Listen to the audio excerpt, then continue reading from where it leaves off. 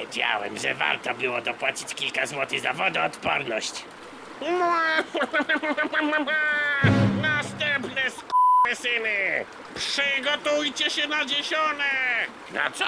No mam zamiar was skroić. Dawać zegarki, telefony, portfele i co tam jeszcze macie. A spróbujcie się wypucować na komendzie konfidenci to znajdę i skuję ryj. Tępy ch...